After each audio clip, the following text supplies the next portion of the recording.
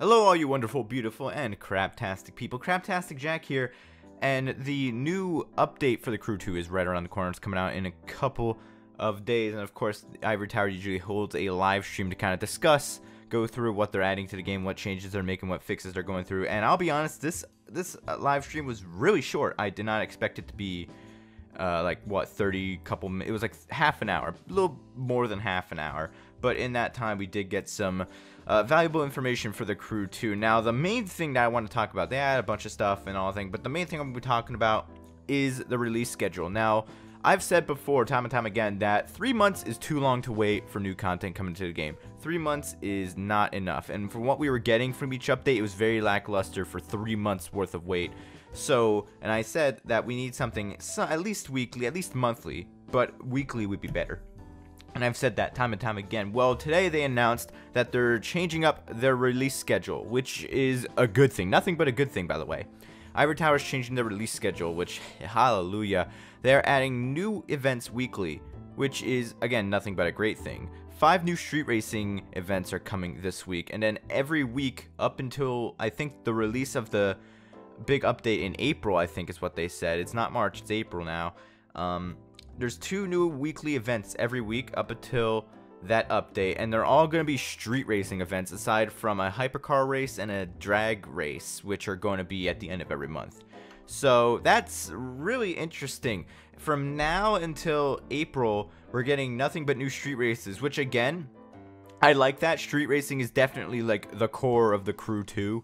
Um, I, I can kind of see why people would want some other events torn into that, I can kind of understand, but at the same time, like the street racing discipline, there, there needs to be a lot more. When you play the Crew 2, what do you mainly play the Crew 2 for?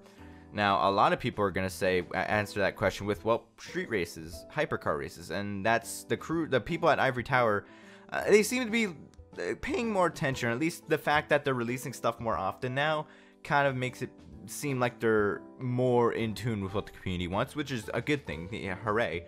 So they're adding more events, street racing events, because they know that's what most people are doing, which again is a great thing. So five new events and then two new events every week. It's gonna it's gonna bring me back a little bit every week just to kind of see what's going on with the new races. Um, and then try out PvP mode with the new races, which we'll talk about PvP because there was a major change to PvP, but we'll get to that in a second.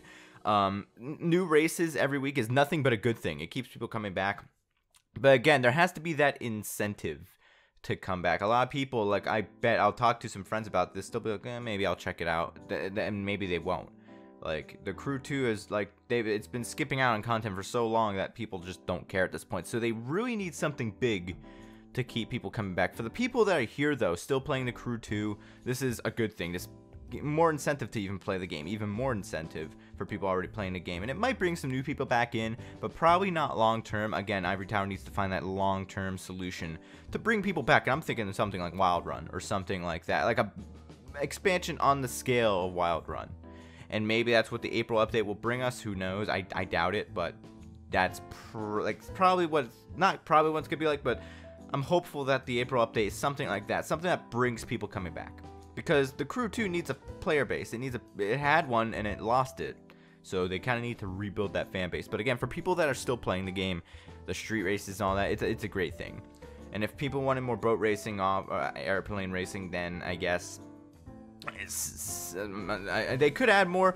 A great solution to this would be in the April update or some update in the future releasing a track editor. A track editor is something that they should really focus on adding in as soon as soon as they can because a track editor at that point that that could actually be a good reason for people to come back because the physics and everything. I like the physics in the crew 2. The racing in the crew 2 is great, and you can get really creative with a race editor. That would, again, unlimited, unlimited racing pretty much, like in Horizon 4, unlimited racing with a track editor. Like that's something I definitely would like to see in the game. But this is not really about stuff that they need to add into the game. This is all about this update. And another big thing, like I said earlier, with PvP, are the new PvP events, eh, not new PvP, well, probably new PP, PP, PvP events coming in with the new events that they're adding in every week, which is a good thing. You go into PvP every week and there's new events to play, which is going to be a great thing. Now, going back to PvP, they made it so they split up the street racing category into three categories now. One section where you race with just everybody, bikes and cars. another section where you race with just cars, and then another section where you're racing just against bikes. Now, I would definitely love to see a bike, a street bike discipline at some point. I feel like that could be really cool, and I feel like we can see if people are going to enjoy it with the bikes discipline, or this might just lead people to not use bikes at all anymore. Who knows? This could.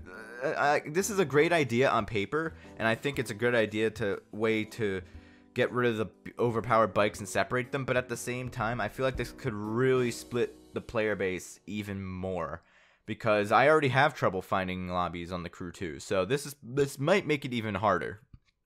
So we'll we'll have to see, but that's my main worry for the new PvP uh, update with they're going with that. And also with that, going back on the street races, all these street races seem to be it, well, at least the ones that they showed off are in the country. They're not in the cities, which is good because there aren't any really any street races outside of the country.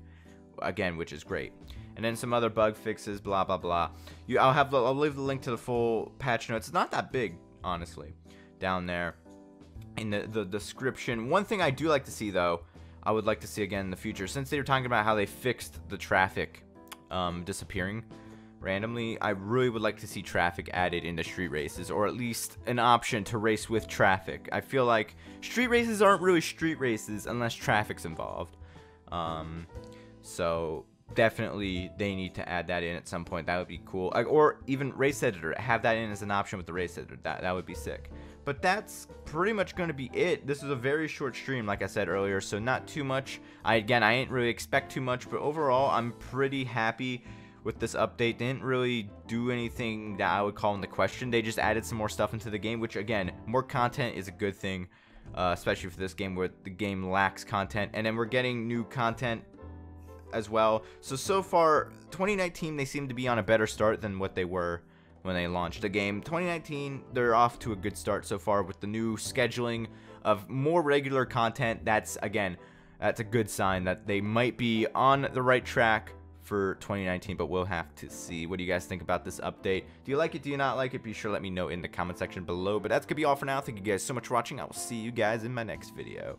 Have a good one, guys. Thank you guys so much for watching. If you want to see some more craptastic content, be sure to subscribe and hit the little bell icon so you don't ever miss an upload. Also, be sure to follow me on Twitch and join my Discord to be able to chat with me and some others. That's all for now, guys. Have a good one.